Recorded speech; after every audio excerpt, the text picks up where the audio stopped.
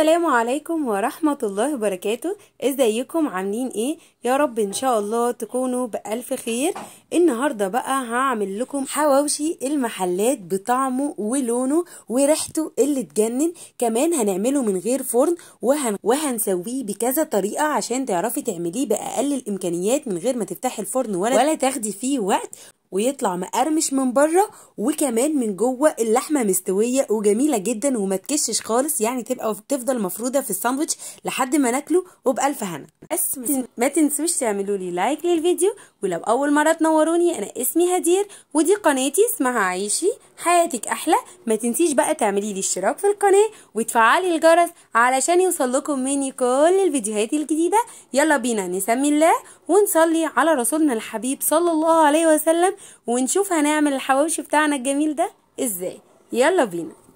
أول حاجة كده هنجهز دقة غريبة شوية على الحواوشي. هي عبارة عن معلقة توم وشوية ملح وشوية فلفل أخضر وشوية كزبرة ناشفة. وهنمسك الكبة كده وهنضربها جامد ونضربهم في بعض شوية لحد ما يبقوا صغنطاطين خالص خالص ومضروبين قوي قوي بالشكل اللي أنتوا شايفينه ده. تمام كده؟ دي أول حاجة هنعملها ونجهزها ونخليها على جنب. نيجي بقى للدقة التانية. معلش هو في شوية تفاصيل زيادة شوية بس زي ما قلت قبل كده في الفيديو بتاع البرجر إن المحلات كل اللي بيميز الأكل بتاعها شوية التفاصيل الزيادة. هنا أنا قطعت طماطماية مع فلفلاية حمراء. الأول كان فلفل أخضر وده فلفل أحمر. برضو هنضربهم في الكبة كويس جدا جدا. طبعا الطماطم والفلفل الأحمر الألوان بينزلوا شوية مية. والمية دي لو اتحطت على على العيش ممكن تخليه آه يدوب العيش معانا. فبالتالي إحنا هنعمل إيه؟ إحنا هنصفي الفلفل الألوان هو والطماطم كويس جدا جدا. أهو من المية بتاعتهم يعني هناخد التفل بتاعهم وبس. عشان نضيفه لدقة الحواوشي بتاعنا علشان ما يدوبوش العيش وما يزفروش اللحمة وما يدوناش أي نتيجة ما نحبهاش وتبقى التفاصيل بتاعتنا جاهزة بدون أي حاجة مش لطيفة. تمام؟ إحنا كده أهو صفيته تمام جدا وهنحطها على جنب. دي الدقة التانية. تمام؟ نيجي بقى للخطوة اللي بعدها. بصوا أهي المية اللي نزلت منهم. بصوا مية كتير إزاي؟ إحنا مش عايزينها المية دي خالص. تمام؟ نيجي بقى لآخر حاجة خالص هي البصل. البصل العادي جدا. الحواوشي بيحب البصل يعني ممكن نحط له بصل زي ما نحب. أنا حطيت له هنا بصلتين ثلاثة اهم بس ما يكونوش كبار قوي لأني أنا مش عاملة كمية كبيرة. أنا عاملة يا دوب على قدنا. حطيت نص البصل كده مع الخلطة أما النص التاني هنشيله على جنب عشان هنستخدمه. تمام؟ أنا هنا مسكت حتة من الدهن أو اللية زي ما تحبي تستخدمي وقطعتها زي ما أنتم شايفين كده بقطعها حتت صغيرة قوي. طبعا أنا مش هستخدم الكمية دي كلها أنا هاخد منها حبة صغيرة علشان ما يتقلوش الحواوشي معانا لأن دي بتبقى دهون عالية جدا جوه الحواوشي. هاخد منها قطعة صغيرة حبة صغيرة كده وهنشوف هنعمل بيهم إيه. هنا بقى عندي طاسة على النار خليتها تسخن كويس قوي يعني تبقى سخنة جدا وحطيت فيها حبة الدهن اللي أنا هستخدمهم. طبعا الدهن ده كان كتير جدا أنا ما استخدمتوش كله. آه وبعدين بسليه كده خالص لحد ما ينزل آه نسبة الدهون اللي فيه علشان خاطر أستخدمها آه في الحواوشي بتاعنا. تمام؟ بصوا كده هكمله لحد ما يسلي خالص خالص وبعدين هرجع لكم تاني. طبعا وأنا بنزل الدهون بتاعة الدهن دوت هيبقى ليه ريحة كده فجه قوي فبالتالي أنا هنزل لها شوية كده من التوابل يعني بحط له آه سبع بهارات فلفل أسمر كزبرة ناشفة ملح حبة كده علشان خاطر ريحته تطلع الريحة الحلوة دي. بصوا بقى هنا أنا حطيت البصل على طول على الدهن بس طلع قوي تقيل قوي. لكن لو الأفضل إن إحنا نشيل جزء كبير من الدهن ده يعني ننزل بس الجزء اللي سالة خالص خالص ونطلع الدهن ده نرميه. أنا طلعته بس بعد ما حطيت فيه البصلة وشوحتها معاه. لو انت حابة تطلعيه قبل ما تحطي البصلة يبقى أفضل. ولو حابة انك تسيبي قطع الدهن موجودة مع البصل براحتك خالص بتبقى جميلة جدا. بس أهم حاجة في كل الحالات لازم تنزل كل الدهون اللي فيها سواء هتطلعيها بعد ما تنزلي كل الدهون اللي فيها وترميها تسيبيها تحمر خالص أو تسيبيها تتشوح كده مع البصل لحد ما تنزل كل دهونها وبعدين تخلي البصلة فيها تصفر زي ما إحنا شايفين كده وتضيفيها للخليط. هنا بقى نرجع للحاجات اللي أنا حطيتها بصوا اللحمة عندي أهي حمراء والبصل المفروم والدقة اللي عملتها بالفلفل والثوم والدقة اللي بالفلفل والطماطم. بصوا بقى الميكس ده كله هنحطه كده مع بعض في بولة كبيرة كده بالشكل ده. وبعدين هننزل عليهم بقى بالبصل اللي شوحناه في الدهون اللي نزلت من اللية أو الدهن.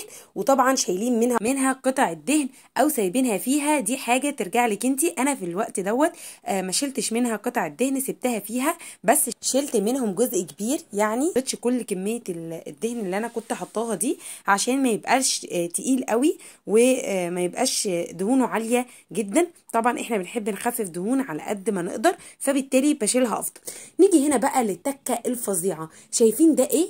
ديك نور بس تقدري تحطي خلطة الحواوشي أو خلطة الكفتة. أنا شخصيا بحب خلطة الكفتة.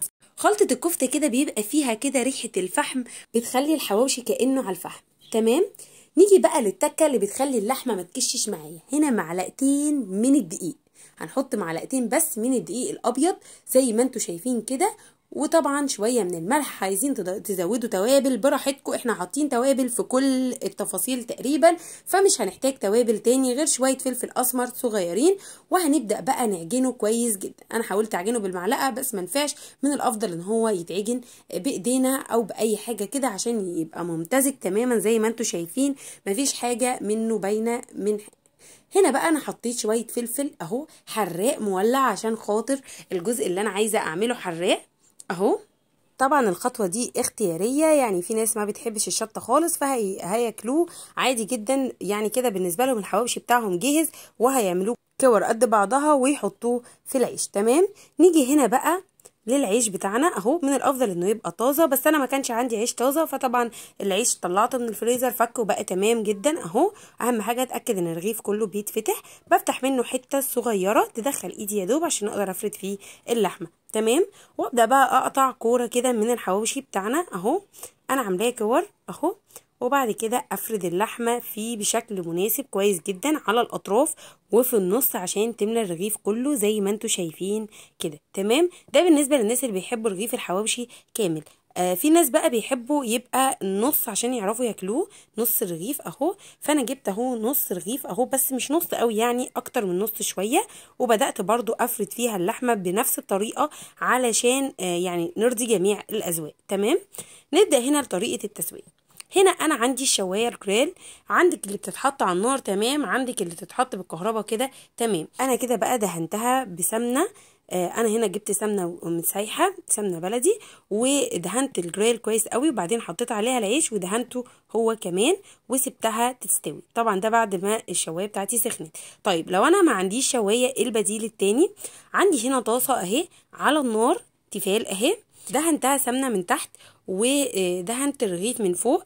لو ما عندكيش تيفال ممكن تحطي أي طاسة بس أهم حاجة تدهنيها كويس لأن لو مش تيفال ممكن العيش يلزق شوية صغير. تمام؟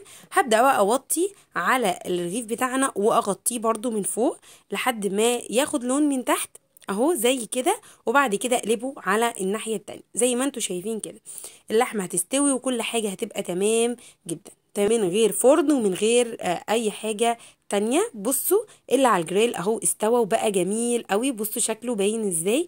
أهو خد لون من فوق ولون من تحت مع بعض والرغيف من بره طالع مقرمش وحلو قوي قوي ومن جوه طبعا اللحمة استوت وبقت حلوة جدا.